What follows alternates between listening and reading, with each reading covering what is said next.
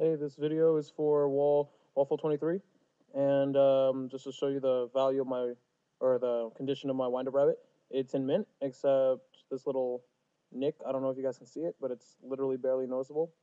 It's right here above above my uh, the finger of which I'm holding. It's very slight. So uh, yeah,